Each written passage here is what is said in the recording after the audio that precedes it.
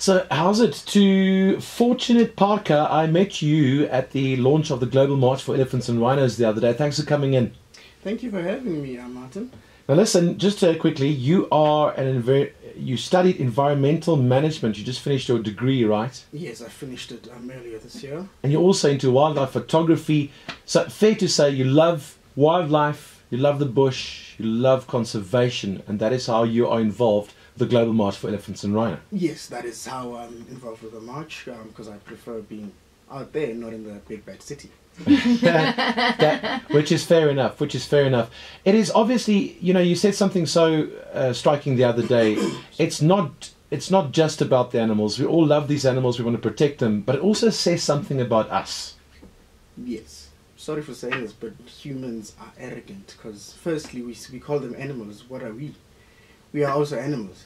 And in nature, basically, everything is interconnected. Just like the cells in your body are connected, so is everything in nature. So basically, when we are called greeny beanies and we are out there making noise to save the animals, we are not really saving them. We, yes, we are saving them, but it's for our own benefit because without the animals, ecosystems are not healthy. And ecosystems are the only reason we are able to live. If they are not healthy, we will not have enough oxygen or food or water. So through saving animals, we are saving ourselves. Hallelujah, man. That's powerful. Love That it. is so powerful. Why don't people get that? Why is it so hard for you? You mentioned there. What did you say? A greeny bee. What? Greeny beanie. Now, the other day you also you also mentioned the word bunny hugger.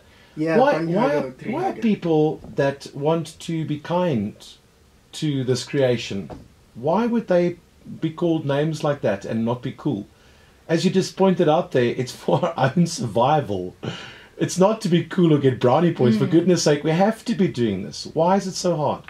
Look, unfortunately, sorry for using my name in vain. Um, yeah. We are groomed or we grow grow up in, in a society that wants us to follow norms. Mm. And conservation and environmental sciences are not a normal thing for people to do. So if you are not following the latest fashion trends and Mm. not doing what your neighbor's doing, you are going to be called names. So if you don't have a, if you're not stubborn enough or you don't have the heart to Mm. protect or to defend what you stand for, then when someone says greeny beanie, you're going to shy away from it and start following, conforming to society's norms. I hear you. Um, isn't it strange though, especially us all as Africans, the one thing that we all have in common, the one thing we're famous for, would be nature and the wildlife. Yeah. So protecting it should be inherent. Are we losing touch with that? What's happening? Yeah, I think we are to a, um, a certain degree. I mean, we firstly we don't know that having these animals is important to us. Imagine um, some tourist somewhere in not in Africa saying, "I'm going to Africa. I'm going to see the Big Four. Exactly. Big Yeah. Four doesn't sound as good as Big Five. We want the Big Five. And counting. them, and we can end up with like Yeah. the big one. You know, it's it's it's not even that far off. We're Yeah, losing too many. No, we, we, we're losing too many animals. Uh, the Global March, obviously, it's the entire world getting together, and that is so important. Mhm. Uh, we're starting to involve people at government level from, from Vietnam as well. The most important thing is to get the message out to the rest of the world to stop creating the market. Yeah. But then, what are we? What can we do to get the message out to fellow South Africans and fellow Africans to say to them, don't sell out, don't go and poach that animal, don't sell it out to whoever has got the market.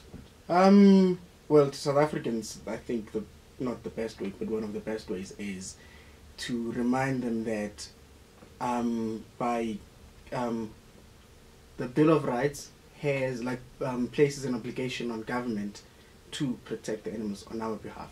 That's it. So, um, elephants are getting killed, lions are getting killed, um, rhinos are getting killed. Essentially, they are abusing our rights. So we should stand up and say, government, stop abusing our rights. Man, you make so much sense. You really do. And um, to the rest of Africa, especially the youth, we it's about time we um, got involved in these meetings because most of the meetings that decide our future Mm. are attended by grown-ups and it's grown-ups um, Mm. um, planning our future. Mm. They are living in their future essentially. It's our future, so we need to be there and decide our own future. They have lived their lives. Power. I hear you. To, to say that we need a, many more people like you is a vast understatement, uh, but I, I really do mean it from the bottom of my heart. Thank you for caring. Thanks for doing what you're doing. Thanks that we can all stand together on this for the 4th of October. Which one are you marching? I'm marching in Joburg. Are you also yeah, marching? I'll Yeah. see you there. I'm also marching Joburg. Definitely. Fantastic. This is happening all over the world, which is really cool. If you're a South African and you want to find out where your closest places where you can march, go and check out the website march4elephantsandrhinos.org. And that four is uh, the number four. Dude, I can only thank you for, for popping in and, and giving these powerful messages. And, uh, you know, looking at, at people like yourself uh, representing the youth of, of Africa, of South Africa, it does give us a bit of hope. It does. Gives us a lot, a lot of hope. You also take beautiful photographs, am I right? Um, it, I can't really say yes because I would be blowing my own horn. You may. the pun. but they are decent. Yeah, they they are, and and modest as well. Fantastic, dude. Keep doing what you're doing. Thanks for your time. Um, I should be thanking Jacaranda and you, Martin, because by with you like you um, spreading the message, essentially it's becoming cooler. It's on radio now. It's Martin um, shouting, shouting it out. So it's cool now. It's becoming cool. Thank you for Oh, that. bro, you you're too cool. Thanks for popping in. Appreciate it. Thank Pleasure's you. all mine. Fantastic. Oh man, that's powerful. I love that.